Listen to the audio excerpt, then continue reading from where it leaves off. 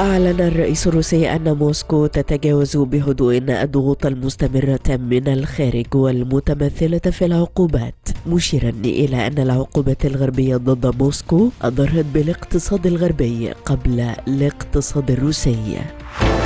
أعلن وزير الدفاع الأمريكي أنه يتوقع أن تشن أوكرانيا هجوما ضد القوات الروسية في الربيع مشيرا إلى أن روسيا ترسل عددا من القوات الجديدة إلى ساحة المعركة لكن العديد منهم غير مدربين وغير مجهزين.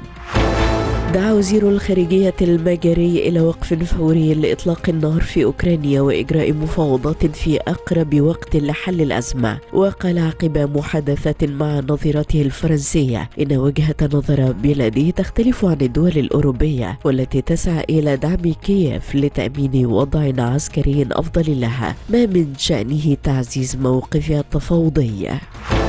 أعلن رئيس وزراء اليابان أن صواريخ توماهوك المجنحة التي تخطط اليابان لشرائها من الولايات المتحدة ستكون من أحدث نسخة تتمتع بالقدرة على تفادي الاعتراض مشددا على أن امتلاك هذا النوع من الصواريخ يأتي لتلبية الحاجة إلى زيادة القدرة الدفاعية لبلاده.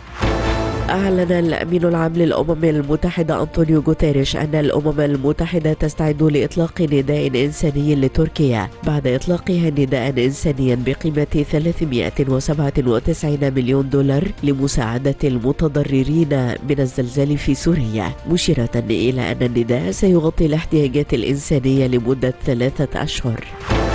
نفت الحكومة إمكانية التلاعب في منظومة المسابقة الخاصة بتعيين ثلاثين ألف معلم مشددة على أن المنظومة مؤمنة بعدة آليات تقنية وإلكترونية تحول دون تدخل العنصر البشري أو إجراء أي تعديل في عملية الاختيار. موضحا أن بوابة الوظائف الحكومية هي الآلية الوحيدة للتقديم في المسابقة.